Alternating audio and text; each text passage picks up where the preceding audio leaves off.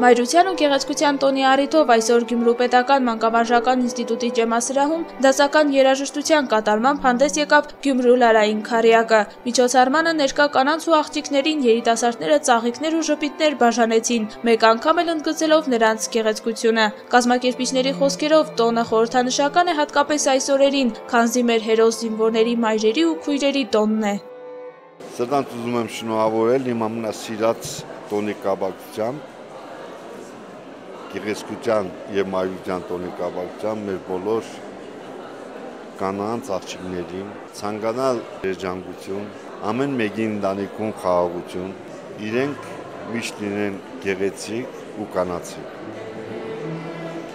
Կանանց աղունքի նման ուզում եմ, որ մեր հայկինը կարողանա միշտ ծաղկել, որովհետև իսկապես հայկինը արժանի ամենալավին նշում ենք կանաց եւ մայրերի մեր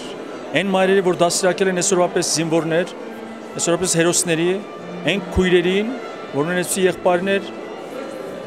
այն սիրածներին, որ ունեն նման հրաշալի երիտասարդություն, ամբողջ իմ ցանկությունը դա է։ Միշտ հայկինը պետք է լինի գեղեցիկ։ Հայկինը շատ ուժեղ է ամեն ինչը։ Անկամ այդ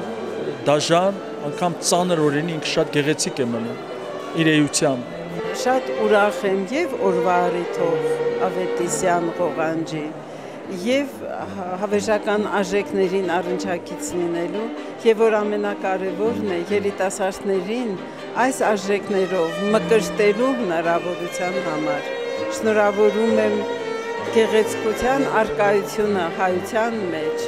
եւ ուզում եմ որ երբևէ ոչ մի չարաղետ լուրով նենգամիտ թշնամուց եկող չարաղետ լուրով օրվա խորհուրդը չխաթարվի։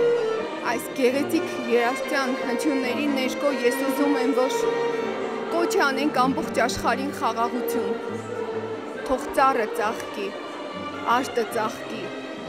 Թող ծաղկի քարը մինչև անգամ։ Խաղաղությանը թող չափ չլինի։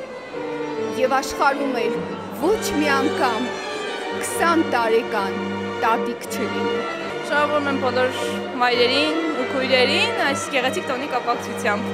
Ցանկանում եմ ամենալավը նրանց ամենագեղեցիկ եւ շփիտներով լի օրերը։